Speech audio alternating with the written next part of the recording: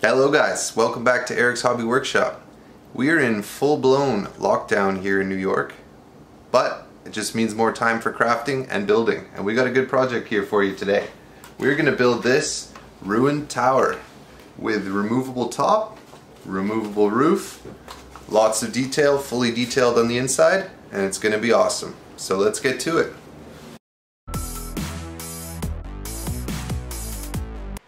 I start this project with a quick sketch of what I plan to build. Making a quick sketch can give you something to work towards and save a lot of time in the long run. As you can see, it'll have a 10 centimeter by 10 centimeter base and levels of 2 and a quarter inches. There will be 3 levels of stonework with a timbered structure on top. The whole thing will be covered in arrow loops with a few areas of structural damage. Let's do it! First, I cut the 10 centimeter by 10 centimeter base out of medium chipboard. I'm choosing these dimensions because I plan to enter this piece in a two-week terrain competition on Instagram. It's hosted by a fellow named Joe from Encounter Terrain, and he hosts these things all the time, so I recommend checking him out if you're interested in doing something like this. I'll link him below. 10 centimeters by 10 centimeters is a great size restriction for the competition because it's small enough that you can do it in two weeks, but large enough that you can do something decently big if you want. Once I have my base, I'm going to cut some bricks out of pink EPS foam. This would be a lot easier and more precise with a Proxxon or some other hot wire foam cutter, but if my channel has one message, it's this. Lack of gadgets and materials is never a good reason to not make something really cool. So let's grab a kitchen knife, craft knife, or any other kind of chop you have at hand, and we'll make do with that. Once my bricks are cut, I throw them in a makeshift tumbler made out of a kitchen tub. Inside I've put a bunch of jagged rocks filched from the construction site next door. Shaking these together will add some weathering, texture, and dimension to each little brick. Plus, when you open it, you get this delightful mist. Mmm. Next, I take a sketch of a door I've done on a piece of paper, and I glue it to some medium weight chipboard. This will help me block in the area where the door goes as I build. Once it's glued down, cut it out with some scissors. This is an important step. Turn your glue gun down to low. If you don't have a dual temperature glue gun, ignore what I said a moment ago about not needing certain gadgets to make something cool. You absolutely need one of these bad boys. I'll place a link in the description if you don't have one. They're inexpensive and are totally awesome. This is one thing that is really a staple for me. Anyways, let's start gluing these bricks down.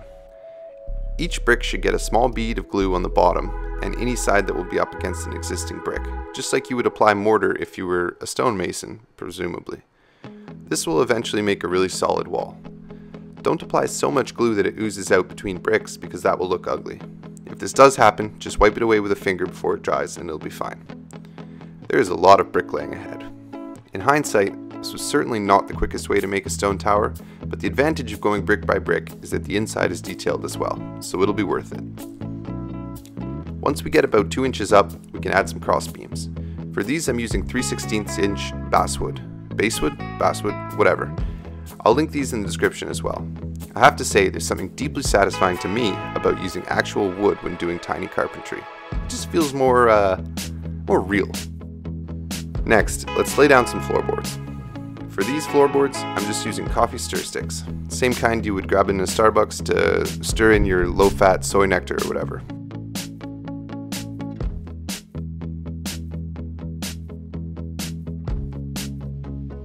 Just two more floors. No problem. We got this.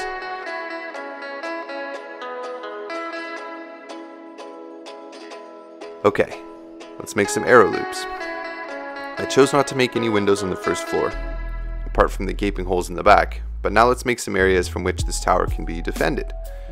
I'm sure you've all seen arrow slits on the outside of castles, but what I thought was pretty cool is the first time I saw the inside of one. There's a lot of room to maneuver to get the right angle for your shot. So let's cut some angled pieces of foam. In reality, some arrow loops are very close to the ground for shooting downwards, but I can claim artistic license on this one and just make them kind of like windowy, kind of arrow loopy. Once that first window is made, let's make some identical copies for the other windows. I could make these out of foam too, but let's try something different.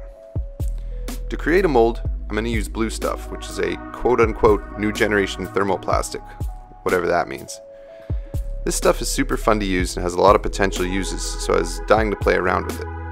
Just heat it with water, press your piece in, make some divots with the end of a paintbrush, and wait a few minutes for that to cool. Next, make the top half by pressing it down into the bottom part. It's that easy. When this is cool, the pieces will separate fairly easily and you'll be left with a very detailed mold. Next I mix up some Milliput, which is a two-part epoxy putty, and stuff it in there. Wait 3 to 4 hours, and it's hard enough to remove from the mold. It needs a bit of tidying, but you end up with a pretty damn good copy.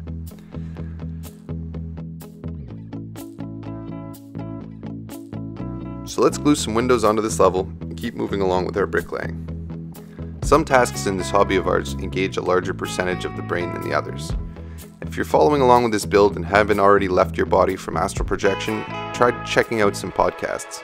There's a great Necromunda related podcast called Sump City Radio on Spotify that I recommend you check out. Also, Trapped Under Plastic is a great podcast for the mini enthusiast.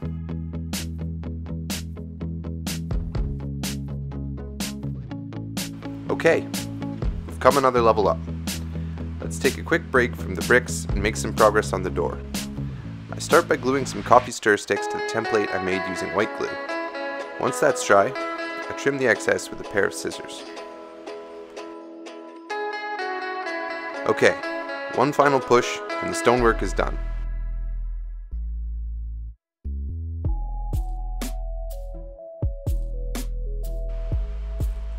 Let's build the timbered top story. The first thing that needs to be determined is how far it will jetty out above the lower floors. I start with estimated dimensions of 13 centimeters by 13 centimeters just to see how it looks. It turns out it looks about just about right, so let's go with that. That was easy. So I knew I wanted my timbered beams to poke out a little bit from underneath my top floor. I also knew I needed a space in the center of the floor to make it accessible from the floors below by ladder. So after a bit of sketching, I realized I need an even number of support struts on each side to make this possible. Since my smaller floors each have three timbers jutting out, it made sense to go with the option with four beams per side plus the corners since it's a little bit larger. That'll be more detailed and leave a smaller space for the ladder to come up. Okay, so I measure some guidelines on my chipboard base and then hot glue down some parallel beams. I'm only using a small dot of glue here, just enough to keep them from moving around. Next, I cut some notches into these beams and identical notches into the corresponding cross beams. This allows me to make this big sort of hashtag shape. Glue that in place with a bit of white glue or carpenter's glue, then weigh that down. Then I repeat this process for some evenly spaced internal beams and for the outside beams on the adjacent sides, I'll just glue shorter lengths into the sides. Now let's pull out some foam core board and cut the walls of this upper structure. I cut 4 pieces 13 centimeters by 2.25 inches. Now I know what you're thinking. Why does this maniac keep mixing metric and imperial? It's because I'm Canadian, goddammit. I'll do what I want. Next, using a razor sharp blade, I trim the corners into 45 degree angles. This will allow the corners to join flush. With this done, I hot glue the pieces together to make a nice even box.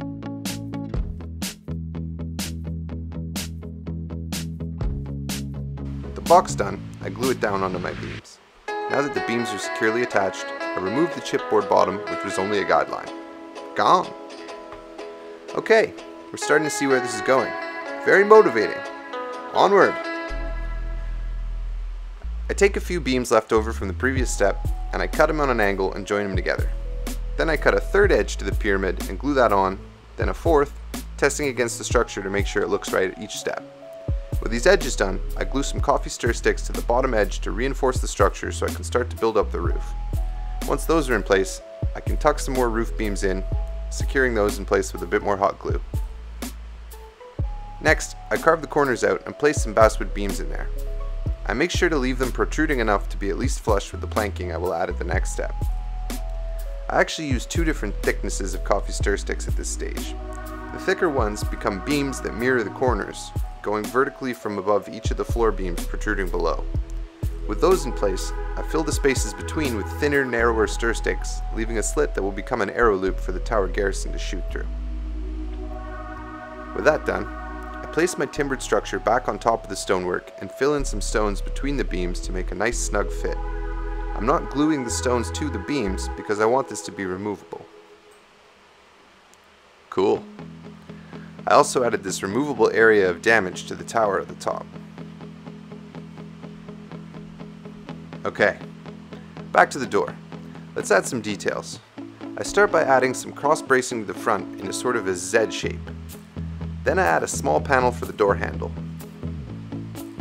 Next, I apply a small hoop of wire for the door handle itself. Once I have the handle in place, I cut a small segment of styrene tube. Then I cut that in half to complete the latch on the door handle. For a final detail, I use the stabbing end of my compass to add some little nail holes across the cross braces. Cool. I showed my brother some work in progress shots, and he told me he thought it looked like it might be too damaged to even stand up. So this little beam here is for you, Kirk. I'm not gluing it on though, because that'll get in my way when I try to paint it later. Next, I glue some sand into the inside of the ground floor to simulate the packed earth floor and little bits of rubble and debris. Why have floorboards when you can have a dirt floor? Exactly. Speaking of floorboards, let's add some to the top floor. I keep them in a few directions to maximize the realism and detail, making sure to leave that hole in the center for the ladder.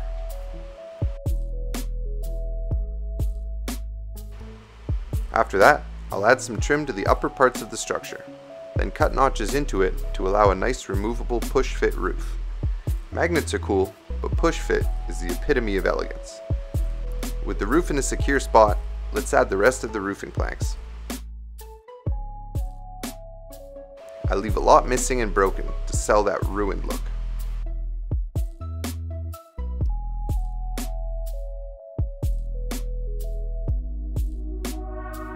Next, take a box of TGI Fridays chicken wings. Make sure the chicken is no longer inside as it will make this next step easier. Open the box, then measure and cut yourself some 1.5 centimeter strips. When you have your strips, cut them part way with your scissors to make this shingle pattern. I didn't measure this and wasn't particularly precise, but that doesn't matter in the long run. A bit of variation looks more interesting anyways. With those notched, bend back every other shingle and trim it slightly to vary the length. Now use your hot glue gun to glue these to the roof. Starting at the bottom and moving upwards, covering half of each of the previous layer. Add a few single shingles and smaller segments to add to that ruined look. When all four sides are done, let's make some curvy shingles for the corners. Start with a 1cm strip of paper, bend it into a curve, and cut it into 1.5 centimeter segments. Then apply these the same way as the other shingles. Okay, with that final detail done, let's paint this thing. First things first, I start by adding some black magic sauce to all the foam parts. This is a mixture made out of black paint and Mod Podge, a recipe popularized by terrain legend Jeremy from Black Magic Crafts. I apply this carefully all over, making sure to get it in the cracks. This adds durability and will also protect the foam from any propellants in the aerosol cans I'm going to use in the next step. I do two good coats just to make sure. Once that's done, I take these things outside for their base coats. I use Krylon Grey for the stone and Liquitex Burnt Umber for the timbered upper portion. Wow, is that ever gratifying? With just that done, this would already look great on the table. Next, I use some burnt umber acrylic paint to get the internal beams and floorboards and the dirt floor at ground level. Before I paint the door, I'm going to make a quick mold of it so I can make more later if I want. I melted down the molds for the windows since I don't need them anymore. To indicate a wet environment and a bit of age and neglect, I washed the bottom few centimeters of the bottom layer with some green paints. This gives a splash of color and adds some nice detail. Next, I use a tan color to dry brush all the woodwork and the dirt on the ground floor. I used a few different shades and lightnesses to add a dusty, dirty, varied weather look. I picked out the shingles on the roof with Incubi Darkness, a paint from Games Workshop. I don't usually like to use expensive miniature paints on terrain, but the coverage and consistency is great and I really like this color, so I can live with using it here. I mix a bit of white in for a lighter dry brush, and that really brings out the details.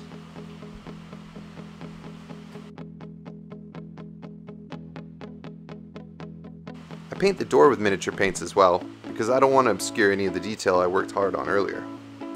I used Rhinox hide, then dry brushed successive lighter layers with Karak stone mixed in. For the door handle I used lead belcher, then applied some Nuln Oil to the handle, and then I added some to the deep recesses for a little bit of depth and shade. In place, it looks pretty good. Finally, I hit the stonework with a few light dry brushes of gray.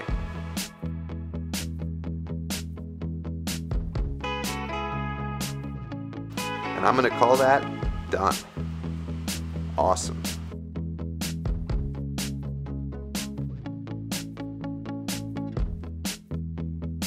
This thing looks just as I imagined, gloomy and foreboding, a really grounded historical style.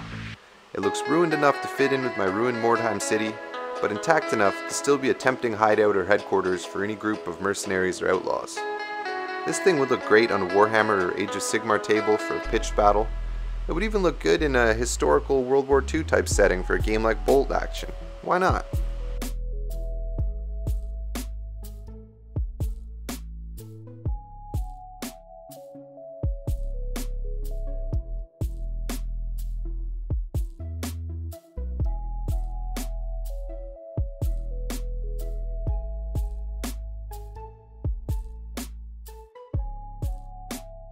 It also goes really well with some of the pieces I showcased in my last video, like this covered walkway.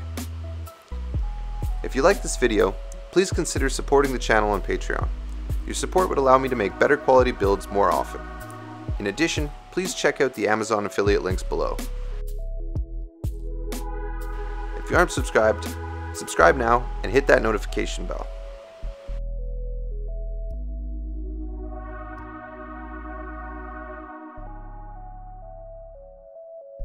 Thanks for tuning in, and we'll see you next time on Eric's Hobby Workshop.